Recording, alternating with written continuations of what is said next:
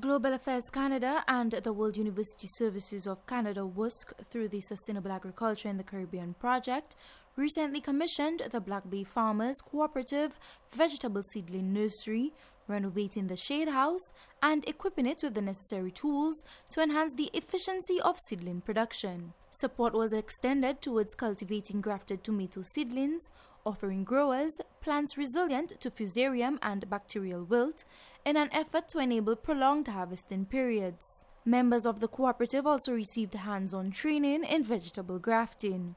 Country Coordinator of WUSC's SAC project, Dr. Nadia Paquette Anselm, underscores the significance of such interventions in improving agricultural sustainability and resilience within the sector. I'm hearing from most of the farmers that last year had a, a tremendous um, void in, in tomato production.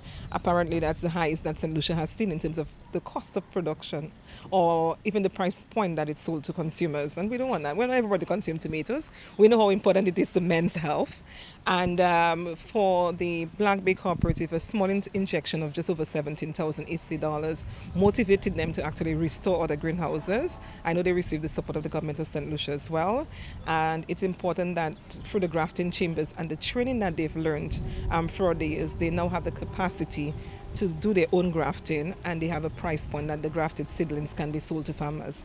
It's really sustainable for us because generally farmers cannot access grafted seedlings and farmers now will be able to access through Black Bay grafted seedlings, my understanding is there's a capacity of a thousand seedlings through the grafted chamber at any one given point.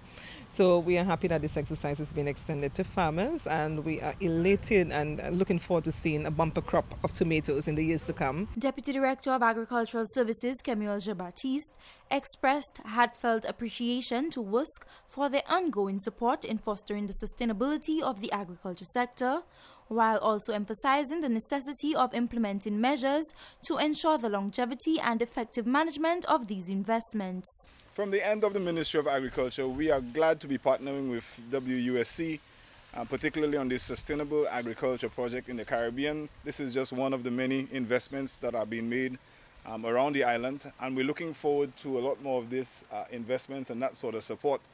And we implore the farmers here today to ensure that we embrace the support that is given.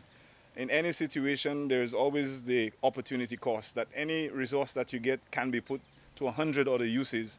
And so when you are chosen as a beneficiary for scarce resources, always ensure that you take steps to optimize its use and to employ, uh, uh, employ your, your members to appreciate it and to utilize it.